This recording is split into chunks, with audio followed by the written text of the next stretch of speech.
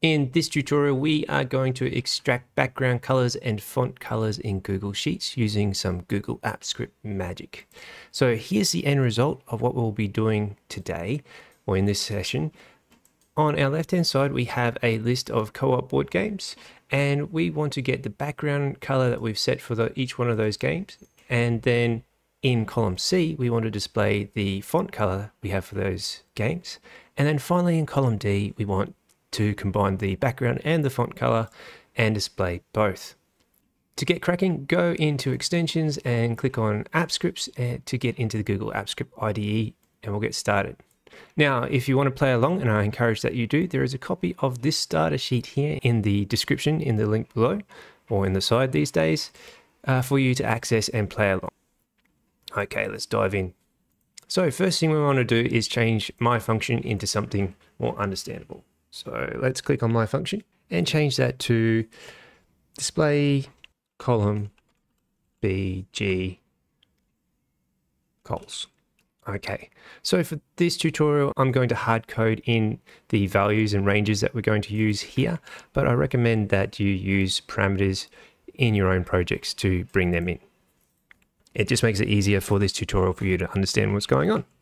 So let's get cracking. We need to add three things here. The first one is going to be the range that we want to reference, which is going to be this, this column A here. And then the sheet tab, which is sheet one.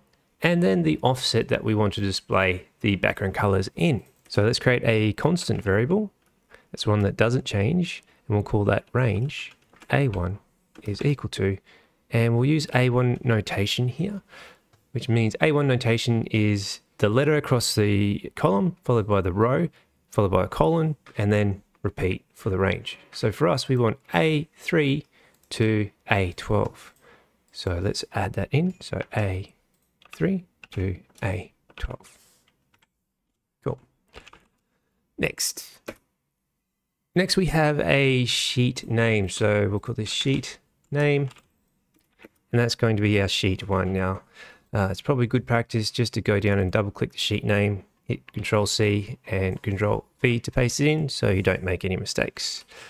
And lastly, we want the offset. So const offset.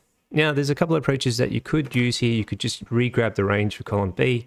Um, I just want to play with offset today.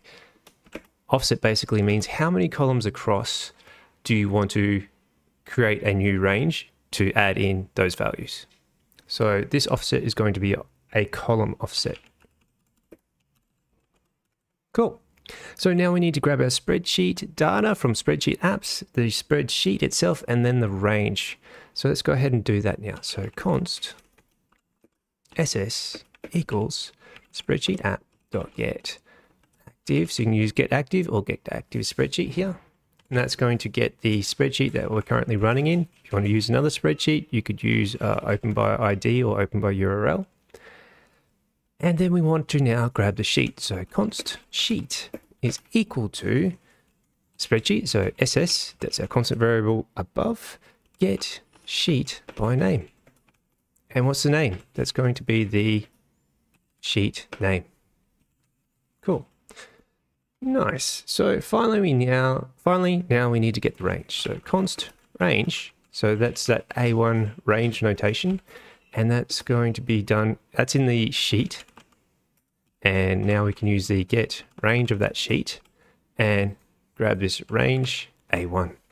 Now that we have the range with this range constructor, we can grab its background color. So we can say const bg cols for background colors for, for those for column A, and we'll say range dot get back grounds.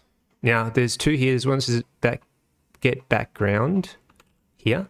That's only going to get you the first cell of the range. We want the plural get backgrounds. So if you find yourself not getting everything you need, that's why. Sweet. Okay, let's see what bg cols looks like. So let's go console.log bg cols. And we'll hit save. And we'll go ahead and hit run. You may have to go through the authorization process, so follow that. And now you can see that we've got our range of colors for each one of these background items in column A. Our next job is to paste all those values into column B. So to do that, we can get the offset. So we can say range dot offset. And now we've got a row offset. So how many rows down or up do we want to start? Now for us, we don't want to go down or up any, so we want to make that zero. And then how many columns do we want to offset? So we want to offset by one. So we're going to go across one to column B.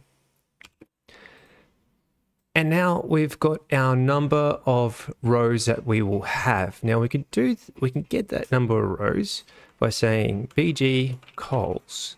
Oh, actually by going range get num rows. So it's going to get us the number of rows that we need with that method there. And how many columns across are we going to have? Well, we only want one column, don't we? Cool. Now we can change to, so this is going to generate this new range here. Now we can change to this and we can set those background colors as a value. So let's set values. And inside those values, we want to put in our BG cols. Let's just see how that looks for now. We'll go ahead and hit run. And there we go. So our background colors have been added in. Let's go a bit crazy and actually add in the background colors as well. I think uh, some of our letters are going to wash out, but that's okay. We're having a bit of fun here. So let's add in set background or backgrounds with an S. Don't forget the S. And then we can add in our BG cols again. Hit save. Cool. And let's hit run. All right, there we go. We have our background colors here with the actual background color in play. Like I said, this Mysterium one's a bit washed out and the Seven Continent and Forbidden Island is also washed out as well. But that's okay, we can resolve that by figuring out how to get our font colors, which is our next task. Oh, one thing I didn't mention here is we've got an offset here. We've hard coded in the offset here, which we didn't need to do. So let's just copy that offset over and add that in here and hit save. Okay. Sorry, I missed that one out. All right, so what's up next? Okay, so how do we grab the font colors? Well, we don't have to reinvent the wheel, do we? Let's just grab this entire function here, hit Control C, and then just below we'll hit Control V. And instead of saying display column BG colors, we'll say display column font FT colors. And is our on offset going to be the same? No, it's going to be column 2.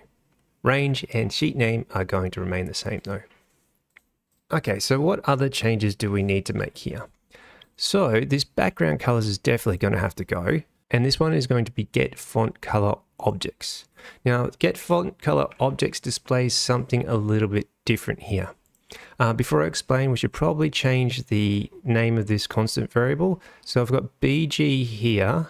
I'm just going to select this BG here. I'm going to hit Control D to duplicate our changes all the way through to this bottom bit. And I will call this FT for font. Cool, it's a quick little shortcut. So Let's just comment this out. I'm going to select this and hit uh, control forward slash and just see what results come out of this. It's going to be a little unusual. So let's uh, change our run to display column font colors and hit run. Okay, so we definitely don't have our hex colors here, do we? So we've got another object containing more details. So we need to extract those hex colors somehow. So what we'll do is before we go to this set values shenanigans here, we need to convert them to hexadecimal values in the array or 2D array. So let's create a new constant variable now, and we'll call this font hex. Put it, we'll make a font hexes, font, font hexes, and then we'll say uh, font. Now, now we're going to grab the font color 2D array, and we're going to map that with some new values. So to say font colors map. And with our map, we need, we'll have an iterator, which is going to be our row. So on each row, we are going to do an arrow function and apply something to it. And what are we going to apply? So we want to return, we want to return a single array. So I'm going to put everything encapsulated in an array So our 2D array is maintained. And then on row, on each row, in the first position of the row, so there's only one position, but we need to identify it. We need to get the as RGB color, that one there. So there's get blue, get color type, get green, get red, and of course get hex string. So we want to get this hex string here. And we'll select that. So now that we have this hex string, we can display the hex string. So I'm going to hit Control C now and replace this font cols and double click and replace this font color as well and hit save. And I'm just going to hit enter a few more times just so you can, things are a bit centered on the screen for you. Not centered, centered. And now let's hit run. And there we go. So on our left hand side here, you can see our font colors have been added nicely. Okay, so let's go ahead in our last little experiment and combine the background color and the font color together. Uh, it's probably going to be easiest for us to just grab this last function we generated and we'll hit Control C. And we'll hit Control V below. And this time we'll change our function to display just column colors, hey? Now offset is going to be three now. So from this one, it's going to one, two, three over to here. And we can keep this here. We're going to put that in. Our font hexes, this is going to change to, we don't want it as a background color now. We want it to set, oh, I did double set here, didn't I? Set font colors, this one here. And that's going to set them as hexadecimal colors. And we'll also want to set our background color, but we haven't retrieved that yet. That's no worries, we can do that. So let's just go above the font color and we'll say const. We can use the same range, but we'll say bg cols, oh, gb, bg cols is equal to range dot get backgrounds. Don't forget yes. Okay, so we've got them. Let's just put Nah, do we still need it? Oh, you got it. You've got it. Let's get rid of that console log.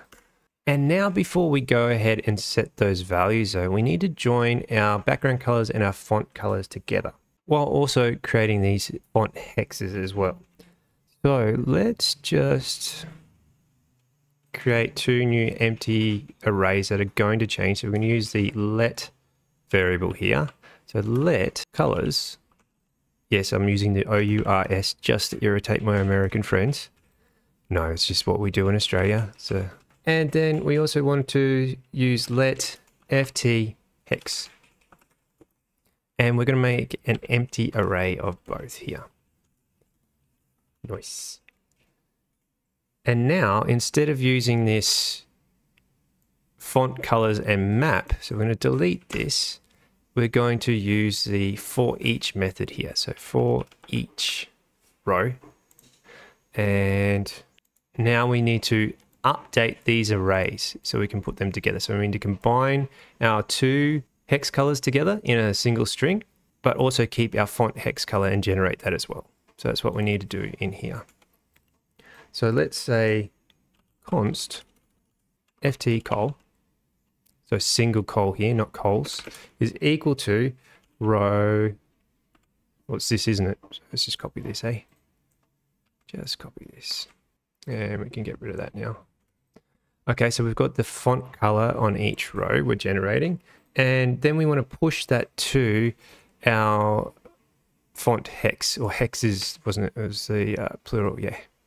Okay, so let's go ahead and say ft hex singular dot push to push it to the end of the array. Now we need to create an array for each row, so it'll have to go inside an array as well, and that's going to be our font col hexes. Oops, we'll start that one again. So ft hexes. Oh, we should probably make this ft hex. Hey, yeah, let's do that. Hex. That's a bit clearer. And anyway, so ft hexes, we want to push to the end of the ft hexes array. So push. And then we each row has to be in its own array. So we need to put that ft hex in an array before we push it. And then that's going to add to the end of this one here for us to display in the cent font colors. And what do we need to do next? We also need to grab our background colors first. So we'll say const bg col, just singular here, is equal to, and that's going to be bg cols. And we probably also need the index as well as it iterates through this time. So let's uh, go up here and also include the index ID x. And we'll put that in, in uh, curve braces in, in brackets here. If you have more than one parameter or argument, you need to put them in braces.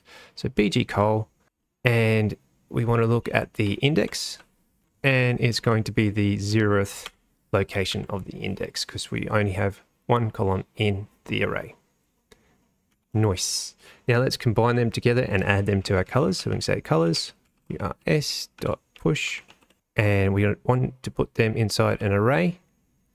And we will use template literals with backticks here. And I will use a dollar sign, curly braces, BG col. And then we'll put a space in.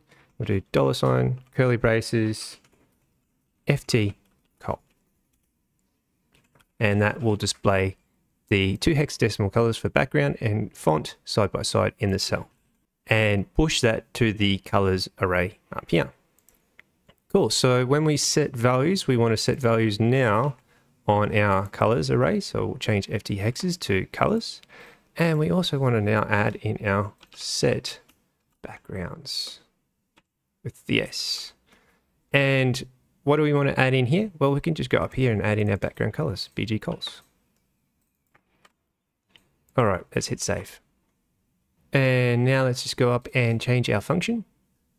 Uh, display column colors and now hit run. Oh, FT is not defined on line 79. Ah, that's because we changed it to FT hex, didn't we? There we go. Hit save and run. There it is. Okay, so now we have our, on Divinity Original Sin, we have our background color and then our font color, and it's also displaying the background and font color accordingly. Okay, so these can this can be super useful if you're creating a template and you want uh, users to be able to add in and change colors of a cell and then uh, perhaps have a button to refresh the cells with those background colors that you might use in uh, conditional formatting in other Google Sheets. And you can programmatically bring all this across into a new Google Sheet to create that formatting. Um, there's a, heaps of reasons to have those background colors there. I'd be really interested to see how you would use this in your own projects, so please leave a comment and let me know. If you've enjoyed this tutorial, please hit that like button, and if you want to see more tutorials like this, subscribe. Until next time.